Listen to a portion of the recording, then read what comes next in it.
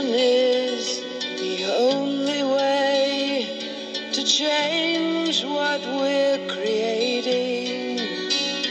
But reason sometimes turns into another